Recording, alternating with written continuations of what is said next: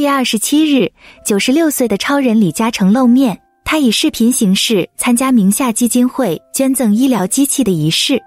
视频中，李嘉诚主要任务是跟医疗团队云合影以及在线观看医疗器械的使用示范。他没有讲太多话，仅表示“早晨，早晨，真是不可思议，真是不可思议”，然后就结束了讲话。从画面判断，李嘉诚似乎坐在基金会的办公室，身后有基金会的相关字样。退休之后就极少露面的成哥，表现的精神奕奕。他眼神锐利，不时转动头部观察周围的工作人员。他也积极挥动双手向镜头前的观众打招呼，笑容相当温暖。毕竟已经九十六岁，细看李嘉诚，他明显比前几年苍老。港媒认为，他虽然没有发表常讲话，但从表情以及动作判断，他的健康状况良好，头脑依旧灵活。另外，李嘉诚在九十岁那年宣布退休，正式将生意交给两个儿子之后，他便专注管理名下的基金会，不再干涉集团的业务。他在基金会亲力亲为，坚持上班，这一点也可以证明他身体不错。去年差不多这个时候，李嘉诚也公开露面，当时他接受新加坡媒体的专访，回忆与好友李光耀的往事。那个时候，李嘉诚的状态明显比今年好。不过，也有一个重要原因，那就是新加坡媒体在后期制作加了滤镜，让成哥看起来更精神。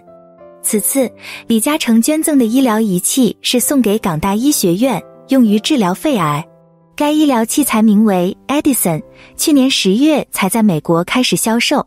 虽然李嘉诚在现场没有说话，但他通过基金会的新闻稿说出了自己的心声。他强调，新机器使用超声波集中攻击癌细胞，不会伤害健康细胞。这件事多么不可思议！他期待新技术能够应用到不同的治疗领域。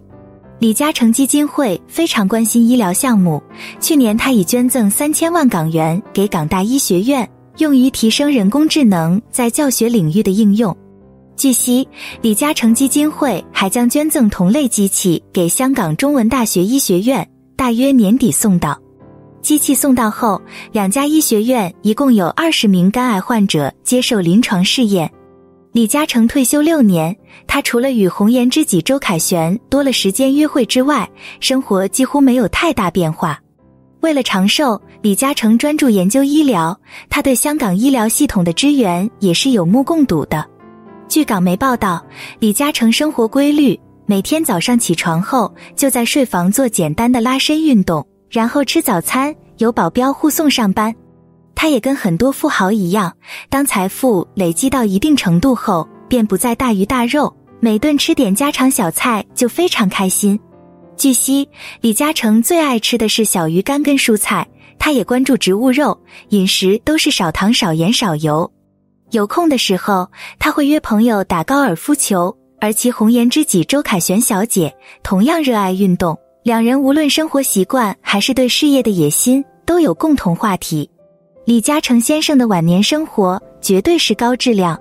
八月二十七日，已经九十六岁的李嘉诚现身港大医学院，跟其他九十多岁的老人比起来，李嘉诚的面部肌肉相当丰满，没有干瘪和下垂。看起来像是七十多岁，虽然头发稀少的只有薄薄的一层，但还是精心染成了黑色，可见李嘉诚还是很注重形象的，不服老。这次他参加捐赠仪式，只是通过网络连线，没有亲自到场，但仅仅是网络连线就足以让外界震惊。和经常去超市买菜的霍启刚和郭晶晶不同，李嘉诚一家但凡出门都是保镖在周围前呼后拥。李嘉诚最为小心，自从宣布退休之后，轻易根本不肯出门，出席公开场合更是少之又少。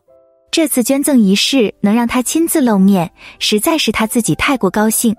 在直播现场，他兴奋地对着镜头说：“我内心很兴奋，真的几个晚上都睡不着。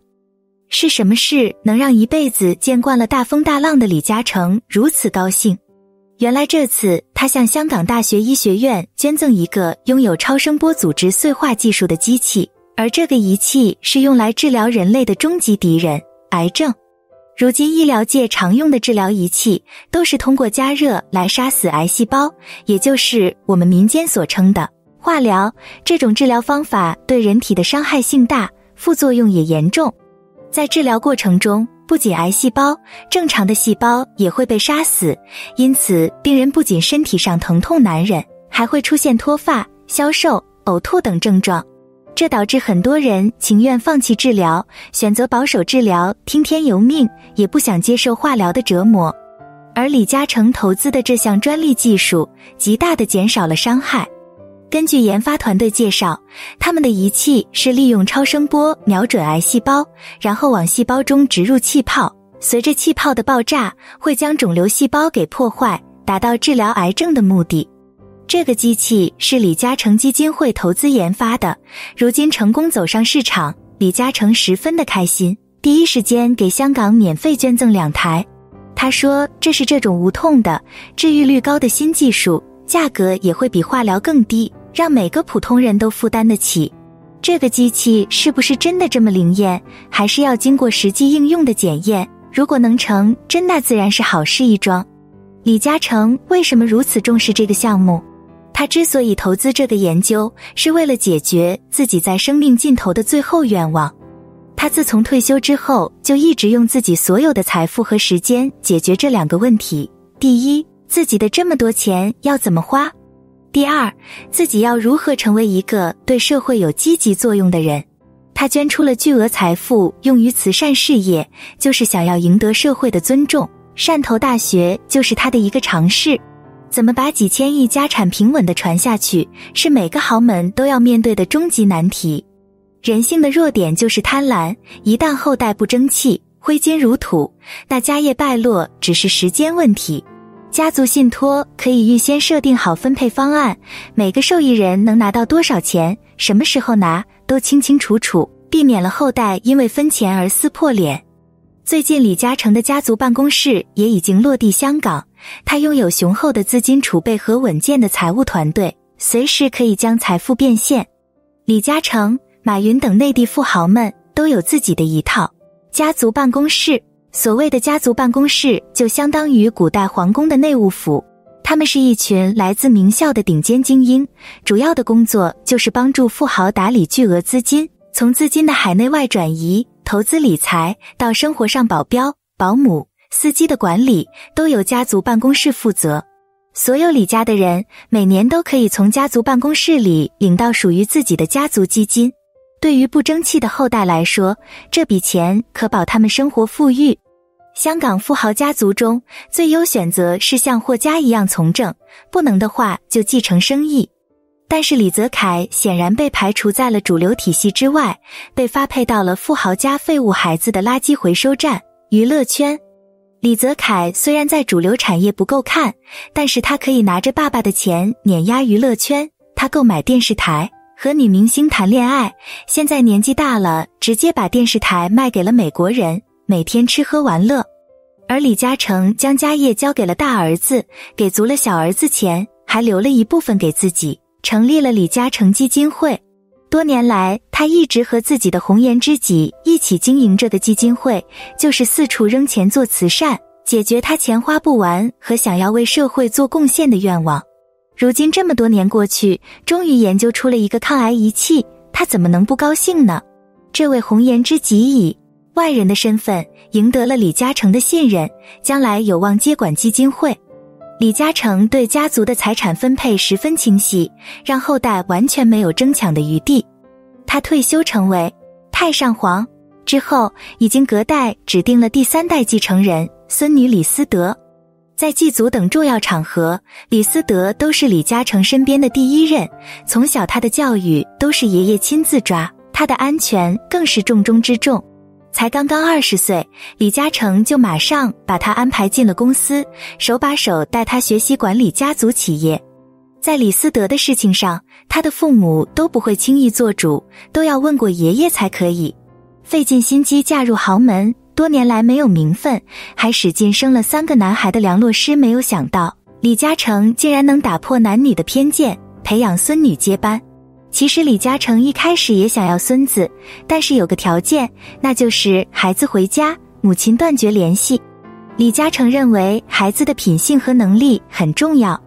如果跟着梁洛施和李泽楷这样的人长大，那肯定是标准的败家子。公司可不会因为你是男继承人就不破产，多少家族就是因为继承人无能而败落。李思德在精英教育的熏陶下，成为业务迅速成熟的领导人，并开始在父亲身边进行辅助工作。将来他完全有能力让孩子随母姓，这都是小问题。李思德的能力和决心备受家族成员的认可，李嘉诚亲自带他操盘练手，大家期待着他能够带领李嘉诚帝国走向新的成功。李泽钜肩负着家族的期望，李泽楷追求着自己的梦想，李思德探索着未来的方向。他将如何选择自己的道路，如何带领家族走向下一个百年，无疑是外界关注的焦点。正如时代不断变迁，李嘉诚帝国也必须面对新的挑战。李嘉诚家族的故事将在李思德的带领下继续书写，让我们拭目以待，这个家族能富几代？好了，以上是本期的内容。如果您喜欢我们的节目，欢迎订阅、点赞、转发，感谢大家的支持。